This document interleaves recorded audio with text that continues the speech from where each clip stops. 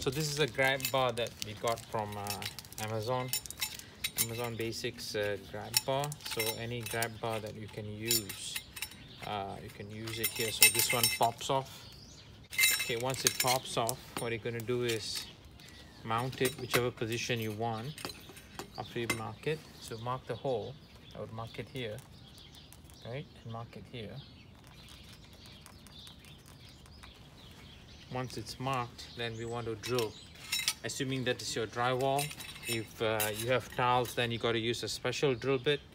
Uh, if you are going to use uh, if this is just drywall then all you need is a half inch drill bit. So what I'm going to do is I'm going to drill a hole make sure it's half inch. If you bought a Condomounts uh, mounting kit then uh, it's going to come with this uh, half inch drill bit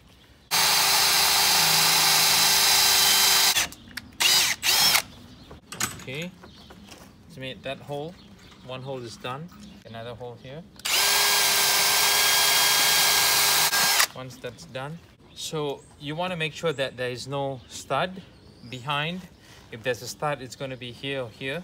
So you want to put it on the hollow. If, if you hit a stud then you can just use a normal uh, um, self-tapping screw but if you are using if this is a hollow drywall on any space of your drywall it has to be hollow inside then you're going to use this. So all you have to do is put this in like that. Just remember it came like that. Put it in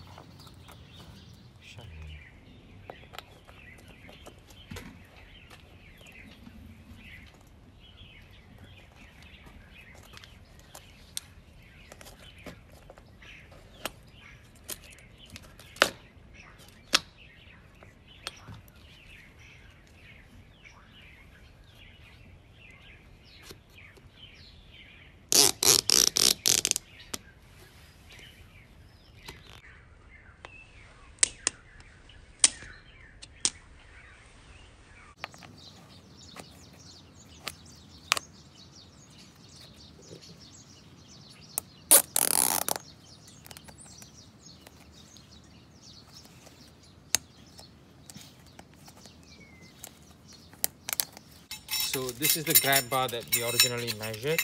These are the two holes that we marked. To mount right here. So you can now what happens is you put in the screw and then you turn it in. And for this on this side you put one two. So what happens behind is if you see here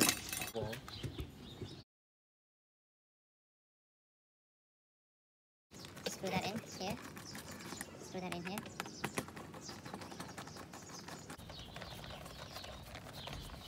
so that's one. And the other one. Okay and both sides.